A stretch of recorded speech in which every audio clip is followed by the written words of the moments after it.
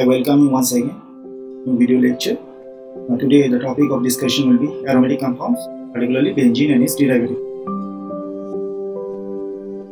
I am Dr. Nirupam Das, Assistant Professor, Department of Pharmaceutical Science, Assam University, Silchar. Now let us see the learning outcomes. So the learners will be able to differentiate between the various aromatic, anti-aromatic, non-aromatic compounds. We will learn how to derive the structure of benzene Although this video will be a part of the next video wherein I will explain the molecular orbital structure of benzene. Now what are aromatic compounds?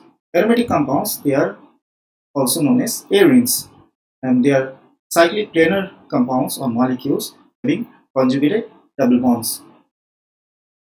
They have pi delocalized electrons and they follow Hückel rule.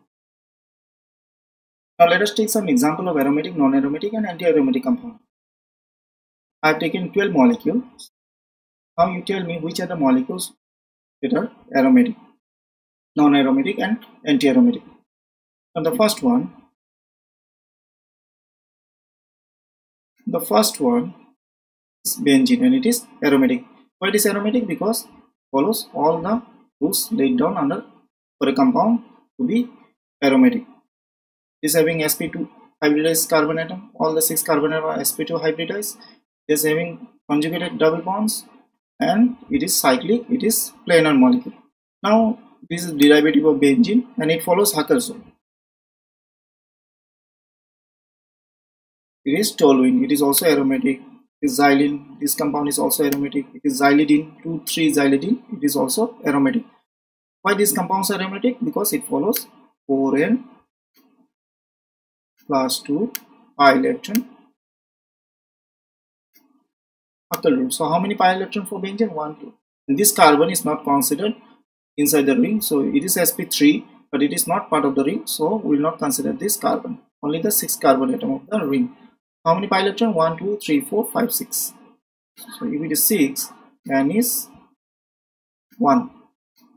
So n can be any natural number 0, it may be 1, it 2 it may be 3 for benzene n is 1 and how many pi electron? 6 pi electron. All these compound will have n equal to 1 now let us see this molecule. Is having how many pi electron? 1 2 3 4 so it follows 4 n rule. This rule for anti-aromatic 4 n equal to 1 so 1 it is a natural number. N can be 1 it is not anti-aromatic because it is having sp3 hybridized carbon atom and the molecule is not planar. Same for this one because of presence of sp3 hybridized carbon atom the molecule is not planar even though it is going as anti-aromatic it is not anti-aromatic it is non-aromatic compound. For this particular molecule it is anti-aromatic how 4n equal to 4 all the carbon atoms are sp2 hybridized carbon atom. Let us see this molecule. Is cyclic carbocation. So aromatic compound may be three membered maybe four membered maybe five membered. Mostly commonly they are six membered ring seven membered ring eight membered ring. So this particular molecule it is having two pi electron.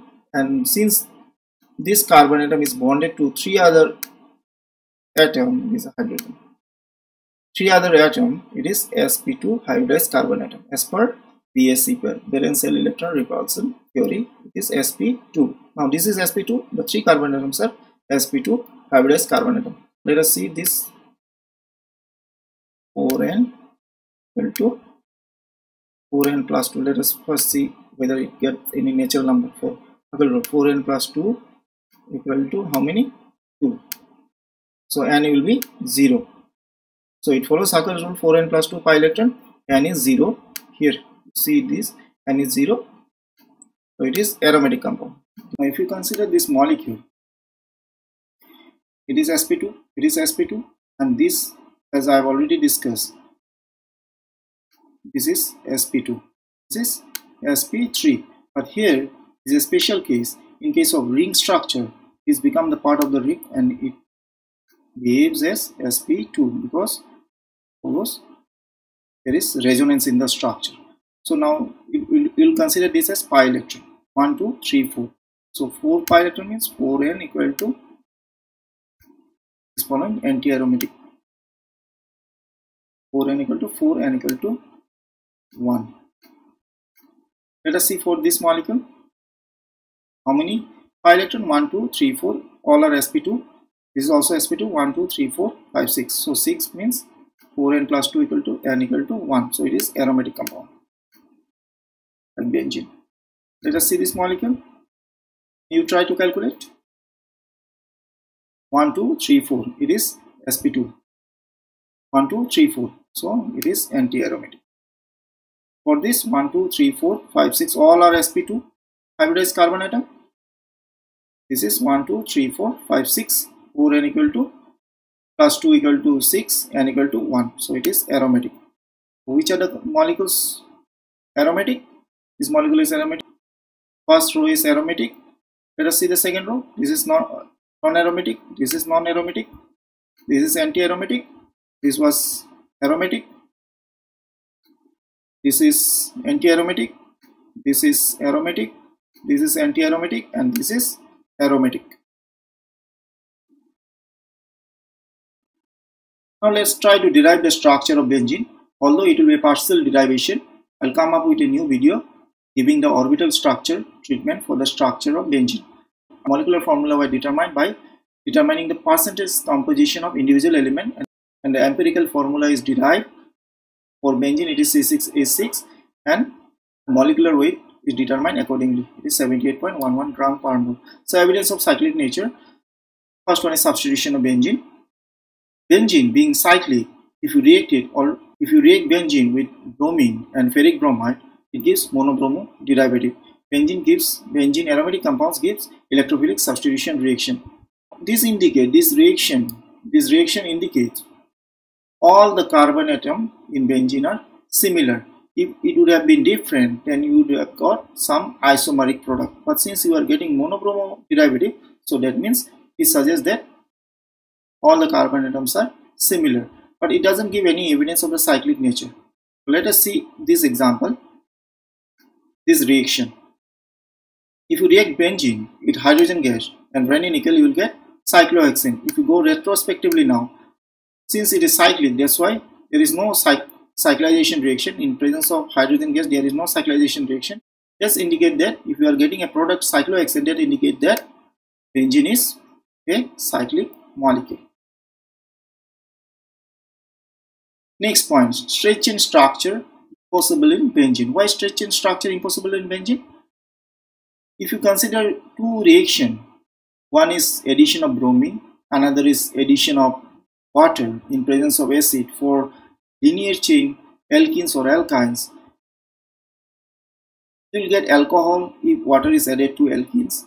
You will get vicinal dibromide if you add bromine in carbon tetrachloride with alkene. But for benzene, you will not get, it doesn't give any such reaction. That indicates that it is not having any straight chain structure like alkenes or alkynes. Next one is Kekulé structure of benzene. Kekulé was the pioneer for giving the molecular structure theory for any compound. He was a German biochemist and he tried to derive the structure of benzene and based on his structure, the actual structure of benzene was derived. Now one day Kekulé was thinking about the structure of benzene. What could be the structure? He was having the molecular formula and he was thinking about the six carbon atom.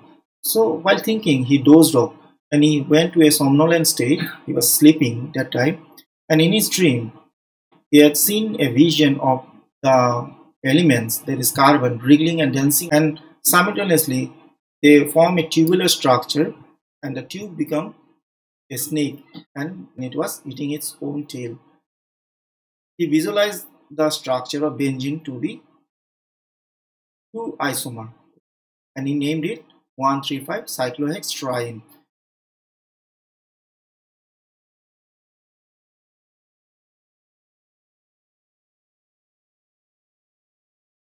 One is the structure and there is rapid interchange between the other structure where the position of the double bond if it is here or the position of double bond is here but he didn't give the resonance theory Accordingly, this double bonds undergoes rapid interchange. That's because from the name itself, we can infer that the position of the double bond are fixed. So this was the pioneer work of Kekulé and although it opened up a new avenue for subsequently determining the structure of benzene. But there are objection against Kekulé structure. It would be not nice to say objection, we can euphemistically say it limitations of Kekulé structure. What are the limitation? Non-existence of two ortho isomer. If Kekulé structure would have been correct, then if you substitute benzene, then two bromine atom substituted at the C double one C. Other possibility is that two bromine atom would have been substituted at the C single bond C. So after reaction with bromine, you would have got possibility of forming these two ortho isomer. But actually only one diortho isomer is possible and that too if you react benzene. If you react benzene with bromine and ferric bromide you will get bromobenzene and after that if you further react with another mole of bromine in ferric bromide you will get one ortho dibromobenzene so one ortho dibromobenzene is because bromine is ortho directed so you will get ortho dibromobenzene so this was one limitation so since there is no existence of two ortho isomer like this the dibromo orthoisomer. Objection was against the Kekulé structure. Next is benzene did not give addition reaction. Kekulé told there, since if you see the structure, Kekulé put forward this benzene is having conjugated double bond and we can infer that the double bond are fixed. The structure is 135 cyclohexane triene. So if benzene is having conjugated double bond, then why it is not giving addition reaction like an alkene? So this was another limitation. Finally, the resonance structure of benzene was derived and the actual structure of benzene is nothing but the combination of these two subsequent structure, two structures that are called canonical form and the final structure is called resonance hybrid. So in the next video, I'll be discussing about the molecular orbital theory MOT of benzene structure. I hope you have understood. Now let us come to the reflection scope. Are the following compounds aromatic? I've given you four compounds. You pause the video, think, write it down, and then again play the video.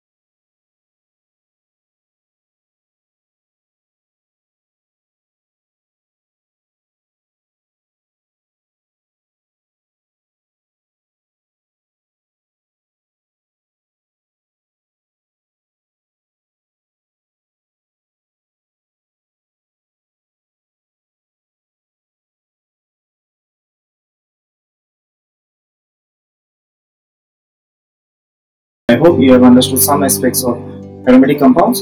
Thank you once again.